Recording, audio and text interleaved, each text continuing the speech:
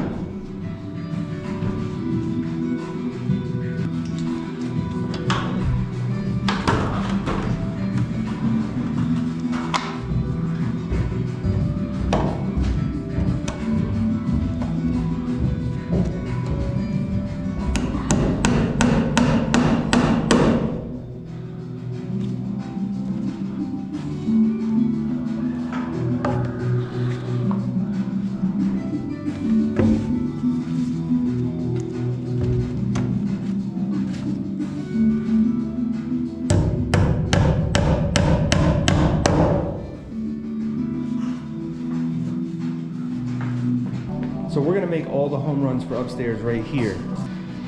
There's gonna be seven different wires going through here, so I need to make it so that everything comes over here and then up and around. So I know that there's gonna be a lot of wires here, so I'm gonna put some stackers here. Same thing here. And then it's gonna come up and around, another stacker, another stacker, because I know ahead of time that there's gonna be a lot of cables going through there. I also know that from that point to the basement in the panel is 40 feet.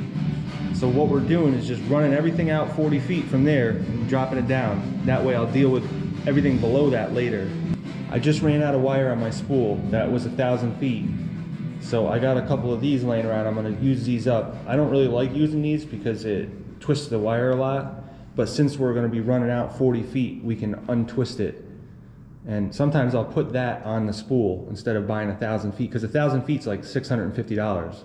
So if I have a few of these laying around, I'll just use them up.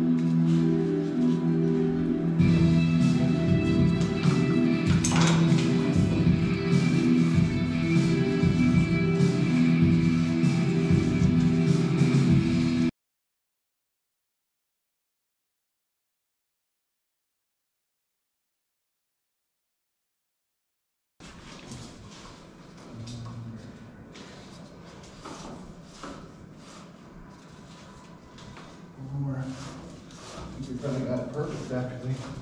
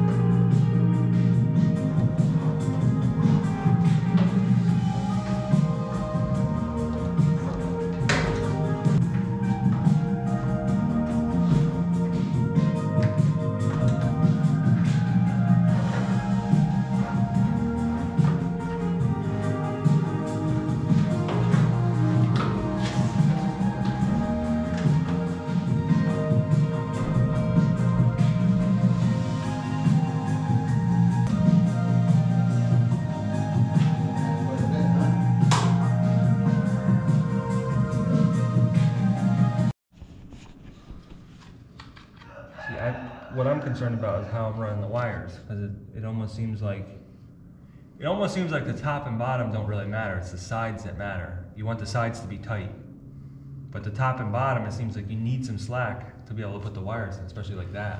Hmm. It almost seems like what we should do is just take this, take a real marker. Yeah, I was looking for one of those.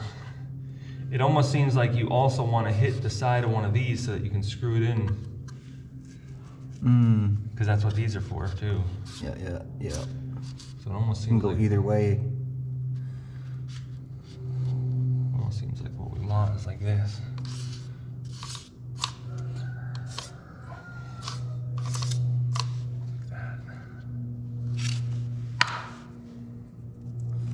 Just wanted to be super snug. Right there. I'm gonna start up here.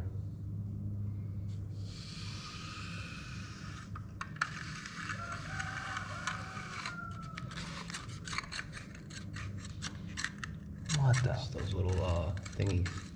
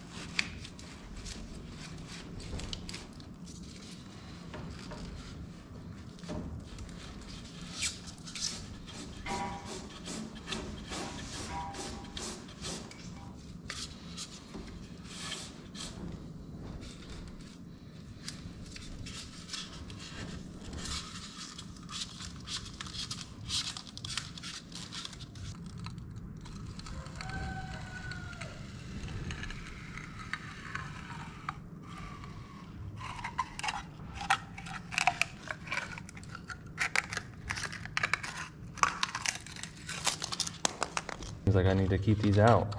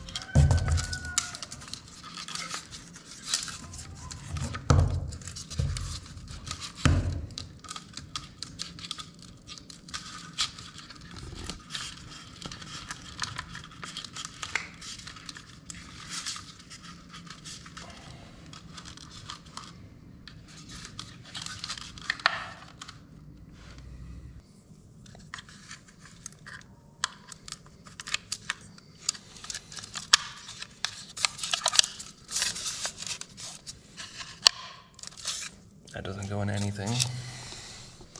And neither will the other one. That's just. Alright, show it again.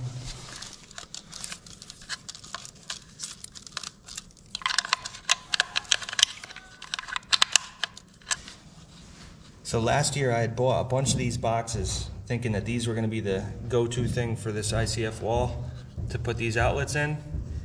But now I'm seeing that these are not that great, and I don't think it's really the company's fault. I don't know if there's a whole lot you can do, but I had to channel out this so that the wire can come out the side, which is I don't have to do that all the time. It's just on this one because I need to drop down and then go over underneath this window. Normally you would just drop down with both of the wires from the top or from the bottom. So that's not an issue, but the hooks don't catch anything now that I have this channeled out here.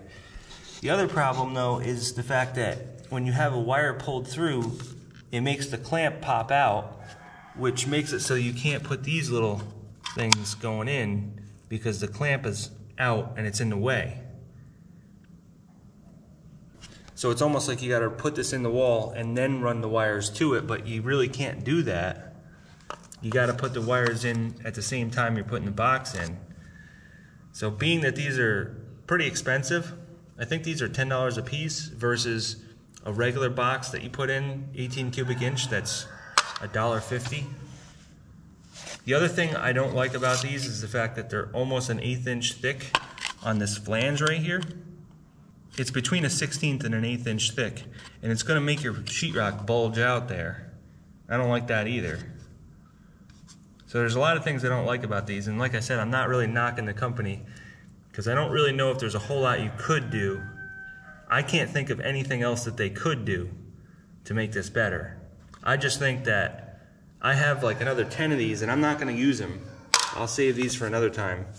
I'm just going to go back to the way I was doing it downstairs with the regular 18 cubic inch boxes because it's just a struggle to get this in here. And now this side isn't even attached anyway, so I got to foam that in anyways. If these weren't so expensive, I probably would get a bunch of them and then I'll just foam them in. But even that is not that great because this flange extends up here too, so it's really hard to get the foam in unless like down here, you can't even get foam down there because this extends past there. So I'm not sure if I'd really even use these even if they were like free or the same price as the other boxes. I just don't think they worked out that great. So I'm just gonna go ahead and put the 18 cubic inch boxes in, do it like I was doing before. It just seems a lot easier.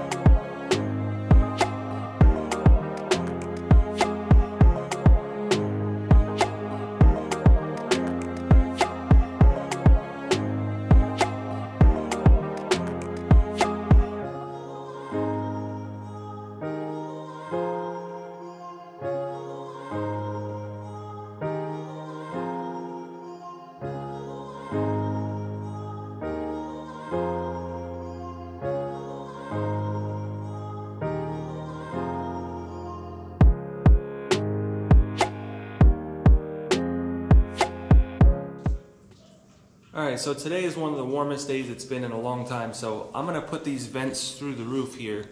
So I need to continue this over to about there. I'm gonna dig that knockout out first to know exactly where that is, and then I'll figure out my route to get to here. That fitting is just on there, so I didn't get any kind of like debris in there. I know roughly where that knockout is, I just don't know exactly, so I'm gonna dig around in there for it, get the hole punched through there first, and then I can put it through.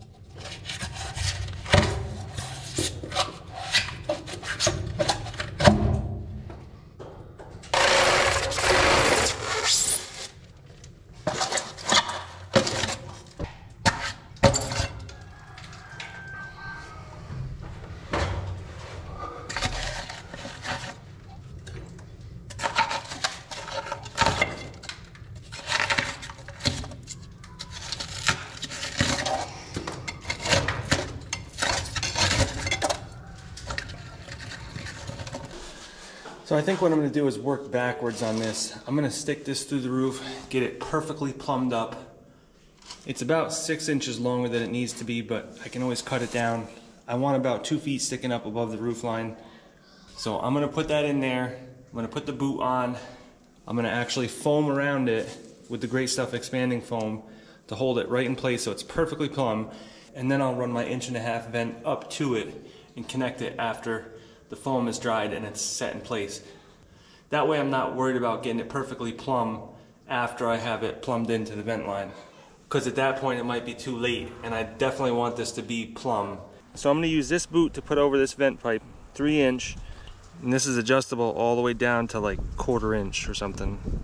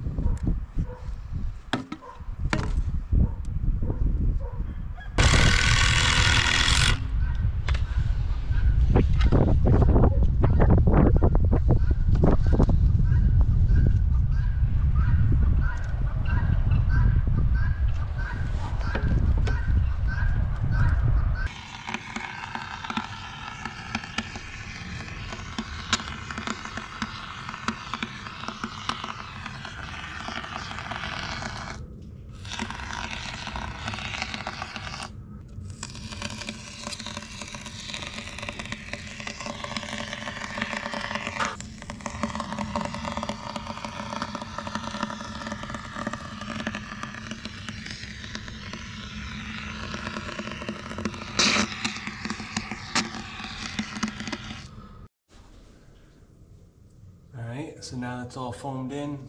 Let that cure for a little while. And then once it's solid, I'll connect the rest of it. That way I know nothing's gonna change on the top. It's perfectly plumb on the top. And no matter what happens here, nothing's gonna change up there. Plus it gives it a little bit of insulating value too because I took away a lot of that insulation. Once this cures, I'll fill in the rest of this and fill it in all flush to here. So it's all solid closed cell foam right to the edge here.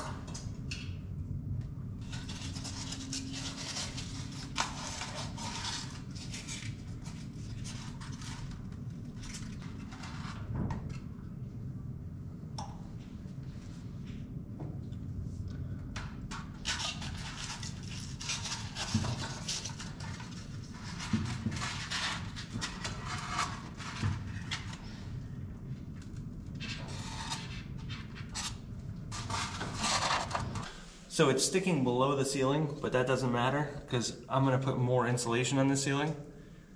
So these forms are only an R23 and we need an R49. So originally I was gonna use two pieces of two inch XPS, which some of them are up to R13 for two inches. So two of them together would be fine. But I got pricing it out and it's like crazy expensive for that kind of insulation. So I think I'm gonna use Roxul, which I'm not unhappy about switching to anyways, because Roxul is fireproof, whereas XPS is not. Actually, XPS is pretty flammable. It's much more flammable than this EPS. It almost burst into flames. So I'm actually kind of glad that I'm making a switch. So I'm probably gonna end up coming down with like six inches of Roxul, which would leave plenty of room for this. So we're gonna need to make like some rafters in here, kind of like faux rafters, just to hold the insulation. I was gonna need to do that with the XPS too, so it doesn't really change anything there. Uh, the only difference is it's gonna be like six inches instead of four inches. But either way, I'm only sticking down like two inches here, so, or, or not even. So it'll be perfectly fine.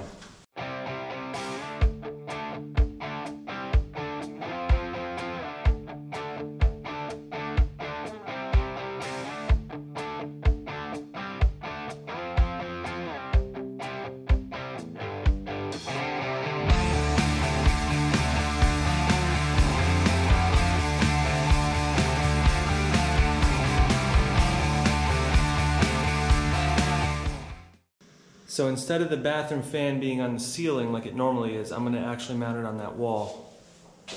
I'm gonna see if I can mount it right up there. That's one of the highest points up there, so it'll get the moisture better. But if it doesn't fit, I'll put it right there, that's fine too. This will be another one of those spots where I can store stuff up there too. Stuff that's really not needed that often. And also it's like a utility area so that my bathroom fan, the duct for it can come out over to there and then hit that beam and then go over there into that room where it's going to hit the ERV, the energy recovery ventilator. Most of the time those ERVs are capable of taking the bath fan. I haven't done the research yet, so I'm not exactly 100% sure. But if for some reason I can't run it into there, then I'll just have to core drill out right there in the gable end and just shoot out that way. So all my drain pipes and vent pipes are done from this point up to the roof. Everything is done and ready to be tested. So the last thing I need to do is add a small section to go down to about here. And then I'm gonna put a clean out that's gonna be accessible. If you pull out the refrigerator, there's gonna be an access panel right there. And there'll be a clean out so that you can clean out up or down. And this needs to all be boxed out. But before I do that, I'm gonna add this small section here and I'm gonna put this flush clean out here. And the reason I'm going to put a flush one in there, first of all, is you can bend the snake around easier. But second of all, I'm going to use this as a test point. And so I'll put this balloon test port in here. And basically what this does is it, it screws into here. And then the balloon will expand when you put air in. You put pressure in there, up to 35 pounds of pressure. It'll expand that little balloon and it'll close up this area. And once that's closed up, you can test everything from there up. And this one also has a fill port right here where you hook a garden hose up to it and it's got a little check valve so it can't go backwards into the garden hose. So you can either go up to the top on the roof and fill up the vents with a garden hose or you can just fill it up from here and just wait for it to come out the top. And so you, you just put this in here, you test it out, you bring the inspector over, show them that there's no leaks, and then you're good to go. And then you can take this out and just put a plug in here.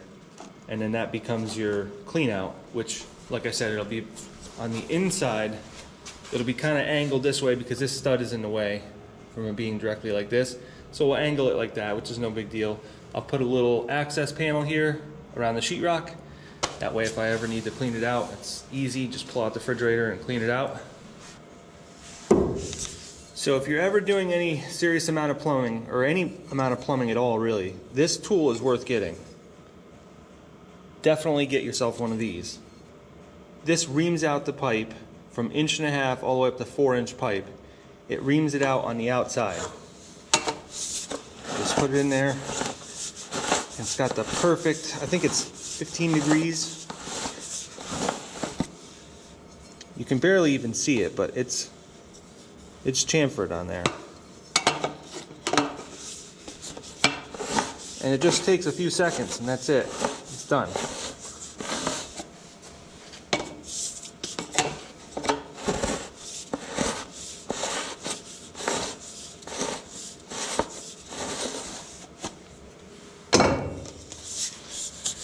Whole idea is if you don't do this, it'll push the glue into the joint instead of actually letting it go on the side. Another tool that I would highly recommend is one of these. If you can see the part number on there.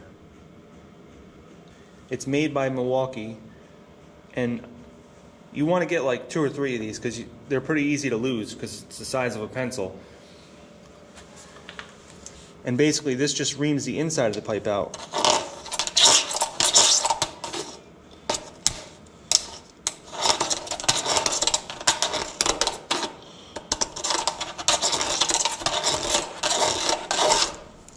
And you don't have to do that for the vent pipes. But for any drain pipe, you definitely want to make sure that it's chamfered out. Because otherwise, as hair and toilet paper and stuff is going down this pipe, if that's a sharp edge, it could catch on there and then it'll hold things up. It's especially true when you're using a pipe that's going horizontal. Vertically, it probably doesn't matter too much, but you should just do all the pipes like that. Another little trick is to take your glue and primer and tape them together like this. Most people think that's just to keep them together so you don't lose them and they're not separate, but really what this does is it balances it better. It gives it twice the amount of surface area so that it's, it's a lot harder to tip over. I've tipped over one of these primer canisters and that's not fun.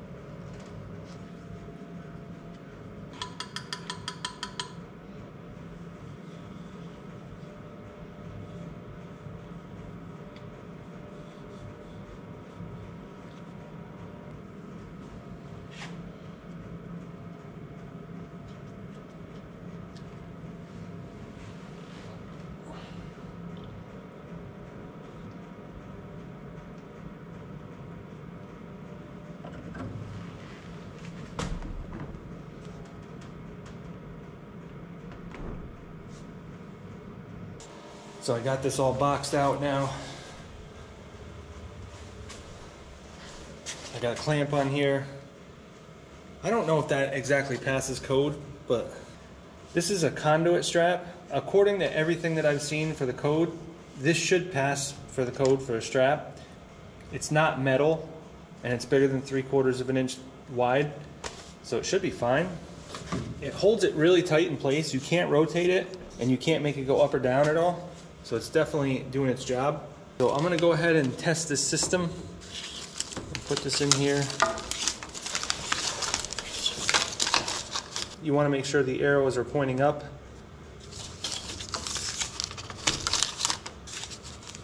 Because the way you fill it, there's a little groove on the top that has to be going upward.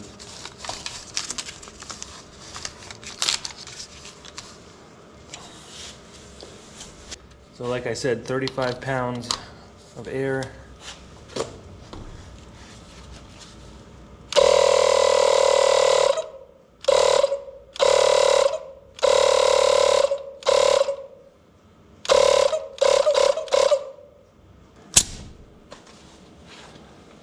So I actually forgot that you need a double female end on your hose.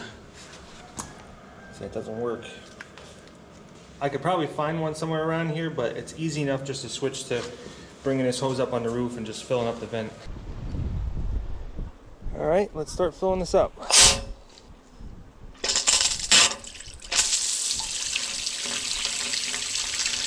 The bad thing about filling it up up here is that you can't see if there's any leaks.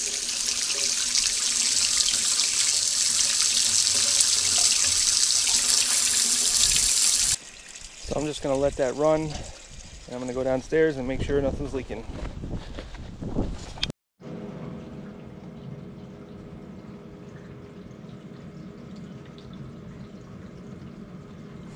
So you can definitely hear it's filling up.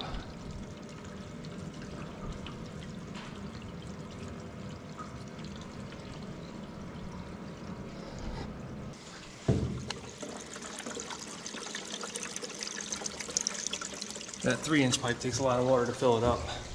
But I want to fill it all the way up until it starts coming out the vent pipe.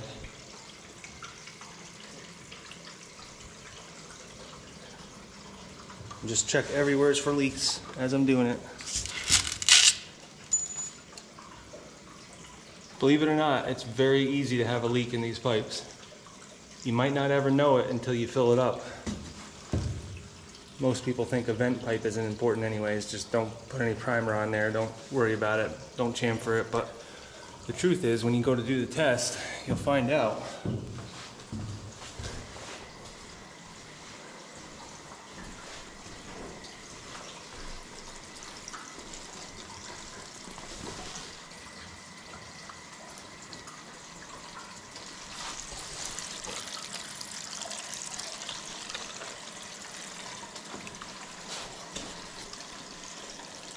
Kind of hear where the water is too. I think it's right about here right now.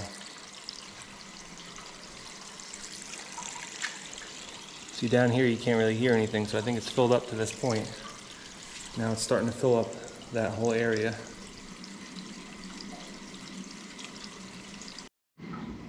And I got a leak right here.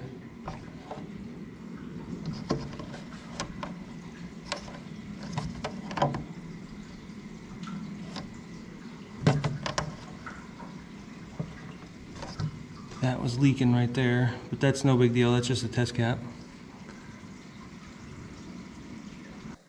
All right, so I filled this system mostly up to the top with water. I couldn't stop the drip from happening here. What I'm thinking is there was some sort of debris or dust in there, which was making it not seal right. The problem is, is it was dripping down, and it was dripping down all over here, and then I couldn't tell if there was something leaking down there or not because the water was just dripping down, and I couldn't so as far as I can tell, nothing leaks except for that part, which like I said, doesn't even matter because that's just a test plug. And once you take that out, there's gonna be a standpipe in there, which is open anyways. It can leak out there, but it should never leak out there anyways. I checked everything else. I didn't see any other leaks. So I'm pretty satisfied that nothing is leaking, but I did depressurize the system. I emptied out all the water just because I don't want that dripping all over the place and I want to see what's going on with that. That way when the inspector comes to inspect it, that's not leaking. And I can see if those pipes right underneath there are leaking as well. I don't think they are, but I couldn't really tell because it just was so wet from that leaking. So normally when you're testing these out, that would be going all the way down into the basement and then out of the house. And usually you put this piece on where it exits the house or switches to the four inch pipe. And then that way, when you're done testing it, all you got to do is let the air out of this, and then the water just comes rushing out, and it goes into your septic system. But in this case, I had to empty it into a five gallon bucket, which it took like one and a half five gallon buckets worth of water to go all the way up to the top, which I was surprised. I thought it would have been a lot more than that. But like I said, this is sort of the test run.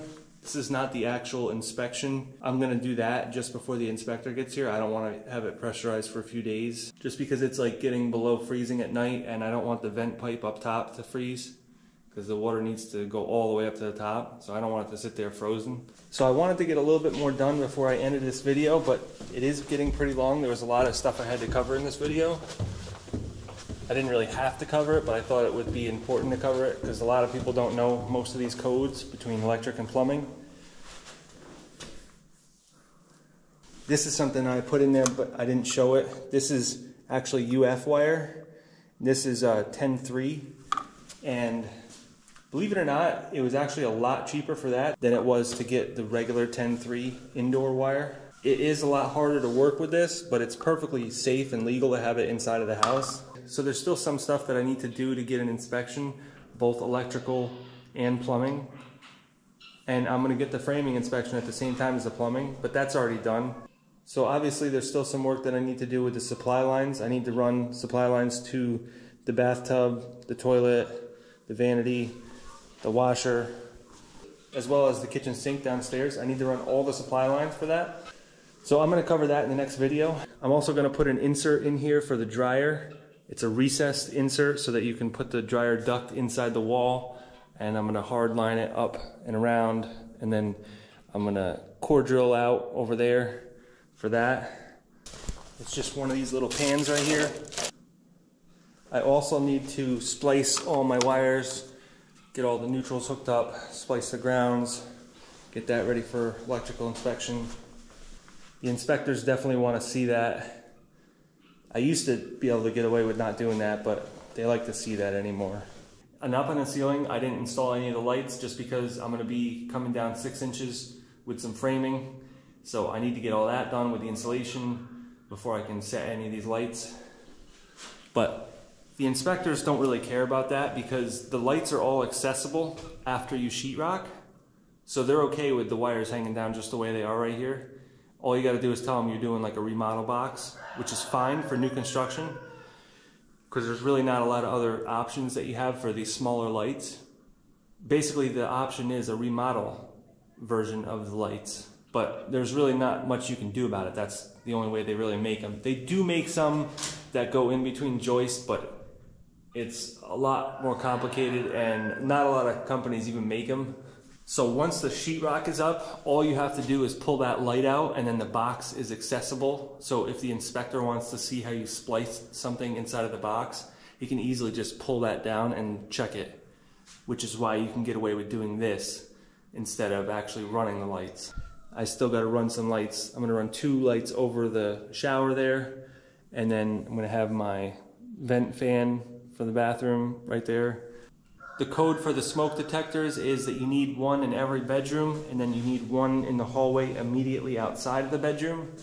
So that's my smoke detector outside of the bedrooms. That's one for in this bedroom.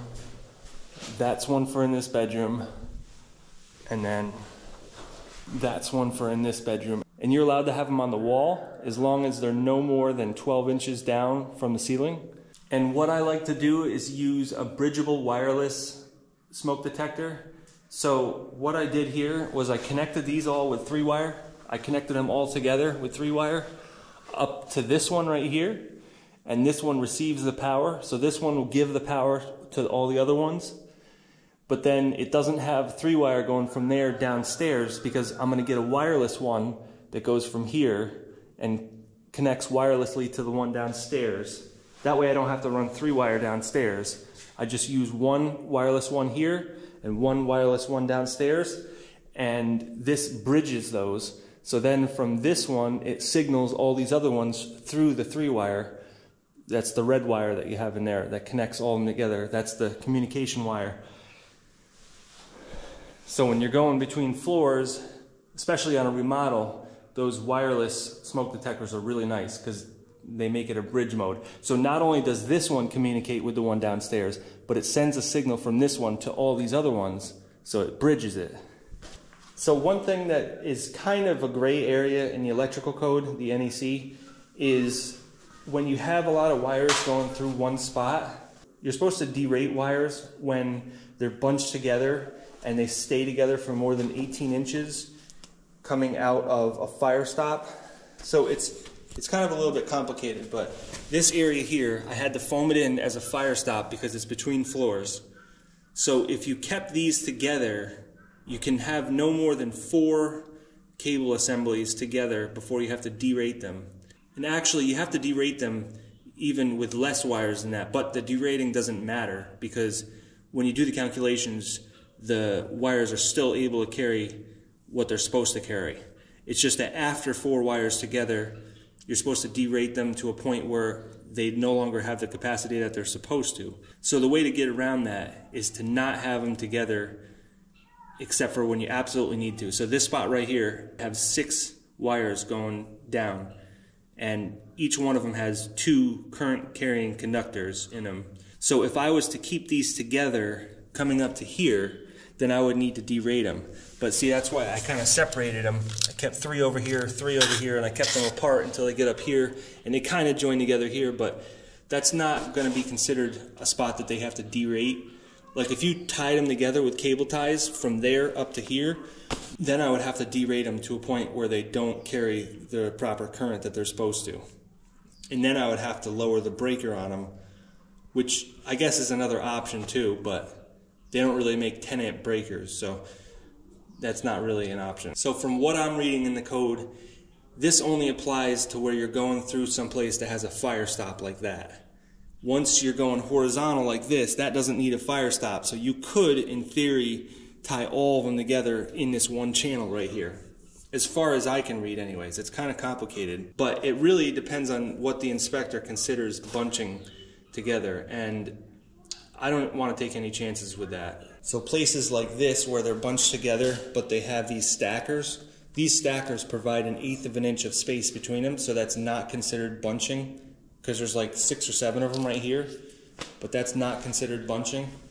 And you're not going through a fire stop, so it's also not considered uh, something that you have to derate anyways. So you can see I got a lot of cables here in one spot. Just how I had to do it because all the power came from here and then it's got to disperse from there. I've had inspectors tell me that there's almost never a time when you need to derate these cables. It's, it's a very special circumstance. But then I've had other inspectors that say, no, you, you got to derate them if you have them more than 18 inches together. And really all that means is that you can't have them bunched together with a cable tie. You'd have to kind of like space them out, put a couple of them one way and then a couple of them the other way. And then like cable tie them separately. So it's really not a big deal but it is something to look out for when you're trying to bring a whole bunch of cables through one spot. So these are the wires coming from upstairs. They go through that channel there, and then they go around through that beam. And on that beam, there's like six of them together, but they have the stackers on them, so it shouldn't really matter. Plus, this is not a fire stop area. Fire stops are vertically, they're not horizontally, unless there's like a garage next door or something.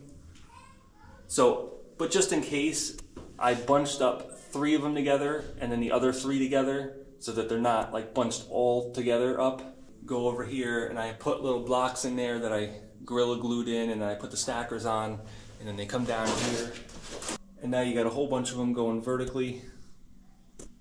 But they're all on stackers, so they can't consider that bunching because the stackers give them an eighth of an inch of space between them so it's not considered bunching.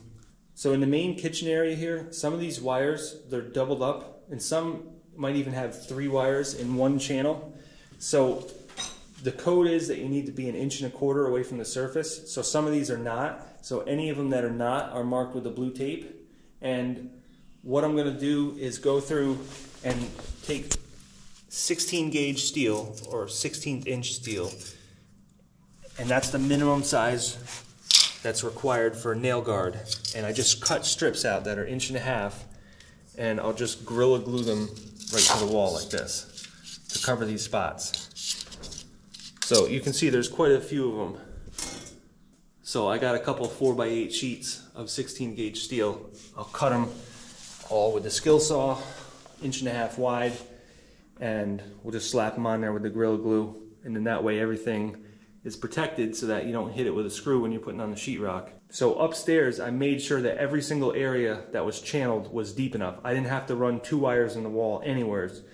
So I channeled it out deep enough where I don't have to worry about nail guards because it's an inch and a half away from the surface.